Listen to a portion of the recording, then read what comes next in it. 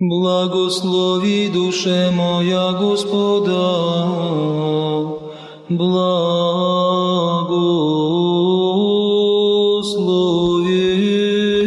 еси, Господи.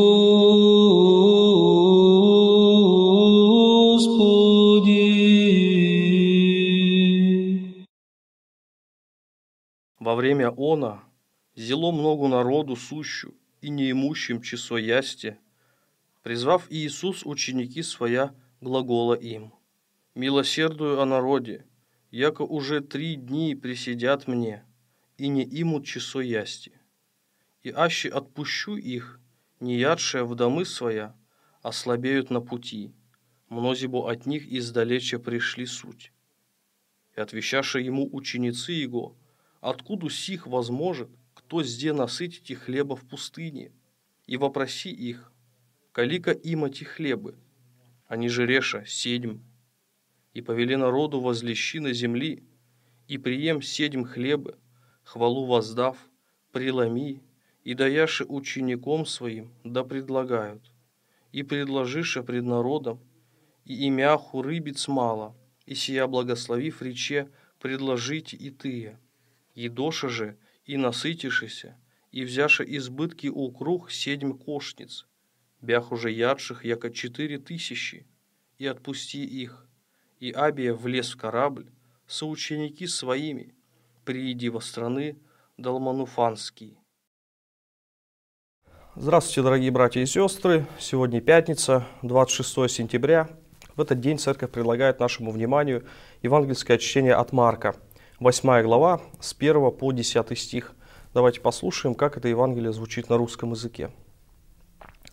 В те дни, когда собралось весьма много народа, и нечего было им есть, Иисус, призвав учеников своих, сказал им, «Жаль мне народа, что уже три дня находятся при мне и нечего им есть. Если не евшими отпущу их домой, ослабеют дороги, ибо некоторые из них пришли издалека. Ученики его отвечали ему, откуда мог бы кто взять здесь в пустыне хлеба, чтобы накормить их? И спросил их, сколько у вас хлеба? Они сказали, семь. Тогда велел народу возлечь на землю, и, взяв семь хлеб, и воздав благодарение, преломил и дал ученикам своим, чтобы они раздали, и они раздали народу. Было у них немного рыбок, благословив, он велел раздать и их. И ели, и насытились, и набрали оставшихся кусков семь корзин. Евших же было около четырех тысяч, и отпустил их. И тотчас, войдя в лодку с учениками своими, прибыл в пределы Долмановские. Вот такое евангельское событие – удивительнейший эпизод, который именуется эпизодом насыщения четырех тысяч семью кусками хлеба и несколькими рыбками, описывает сегодня для нас евангелист Марк. Здесь мы можем привести пример и сравнение с известным повествованием евангелиста Иоанна и прочих евангелистов о насыщении пяти тысяч пятью рыбками, э, пятью, простите, хлебами и рыбками. Э, но вот многие толкователи все-таки здесь видят разные события, а, а не то, что здесь евангелист, может быть, ошибается.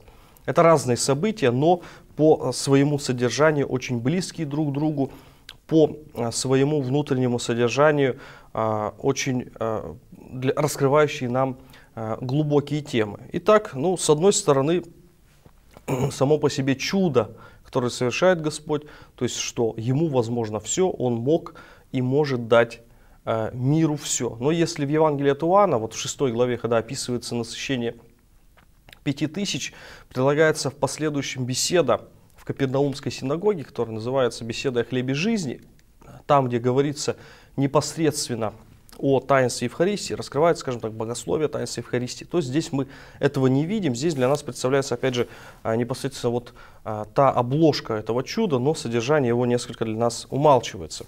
Здесь обратим на некоторые детали. Ну, во-первых, сам Господь сжалился в отношении народа.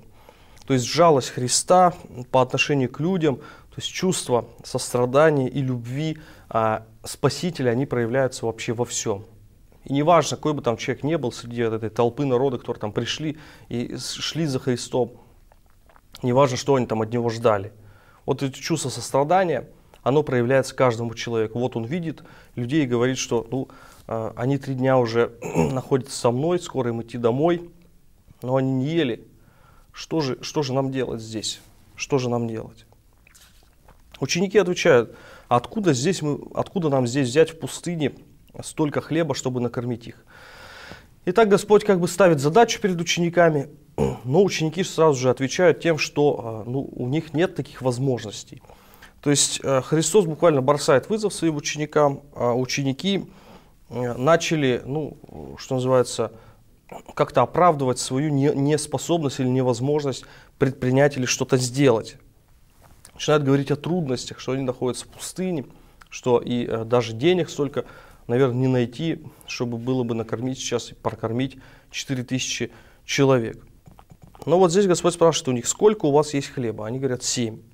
И тогда я велел народу возлечь на землю, и хорошо очень помню с вами это повествование, благословил, раздает через учеников этот хлеб, всем хватает, и еще набирают семь корзин полных кусков оставшихся. Ну, по-видимому, еще каждый из тех, кто возлежал а, здесь и вкушал этот хлеб с рыбками, набрал еще себе полные карманы. И вот осталось еще семь корзин. То есть всем хватило, все остались довол довольны и сыты. Итак, вот ученики, Христос и народ. Возникает проблема, которую ученики как бы внешне понимая, а, преодолеть-то по большому счету не могут. Ну вот нам очень важно здесь для себя сделать какой вывод? В том, что для решения поставленных задач э, мы, используя даже, может быть, наши малые силы, способны принести большой и огромный плод, э, способны принести огромную пользу. То есть из этого мы можем сделать и вывести такое золотое правило, которое как бы Господь говорит каждому из нас. Видишь человека в беде, помоги ему, чем можешь. Э, потому что никогда не знаешь, на что ты способен. То есть вот и здесь ученики видят а, толпу народа, который находится вот в таком страждущем состоянии, в состоянии беды. Ну, а, нужно помочь, нужно сделать то, что от нас зависит.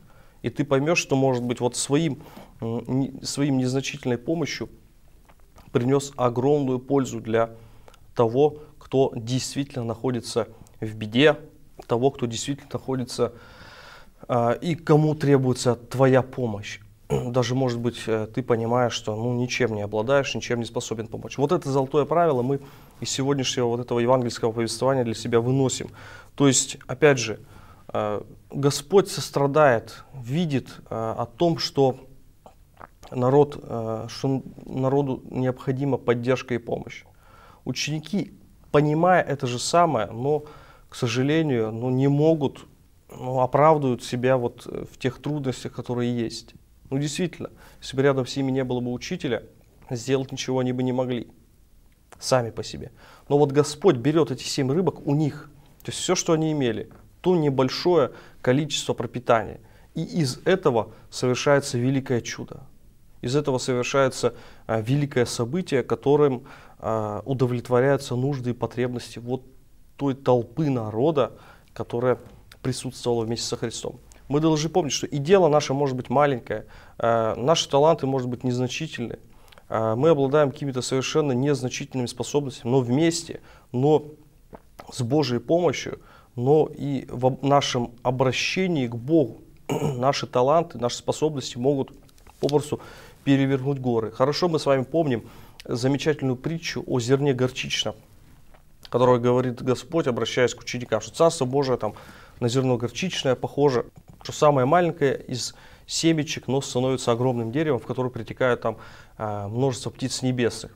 То есть одно из толкований этих притч очень понятное. А, может быть, наше дело сейчас незаметное, наше дело самое маленькое, наша, может быть, вера, наши качества нашей души очень маленькие. Но если мы прилагаем к этому усилия, то они могут произрасти в огромное древо, они могут сделать то, чего а, мы бы изначально испугались и не сделали. То есть нужно верить в свои силы, но не столько говорить, что я, но а, помнить и верить в свои силы, силы на то, что Господь может преобразить их и сделать из самого незначительного, самого мельчайшего, самого, может быть, неприглядного сделать то, что перед чем пугается наше сердце, пугаются наши глаза. Вот этому научает наше сегодняшнее евангельское повествование, золотому правилу, которое в сердце каждого христианина должно быть. Мы читали с вами Евангелие от Марка, 8 главу с 1 по 10 стих. Но ну, я с вами на этом сегодня прощаюсь. Всего вам доброго, до новых встреч и храни вас Господь.